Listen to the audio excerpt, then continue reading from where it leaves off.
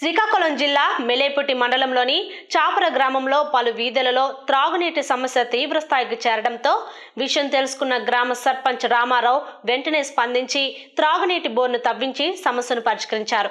ఈ కార్యక్రమంలో మండల కన్వీనర్ పాడి అప్పారావు తదితరులు పాల్గొన్నారు.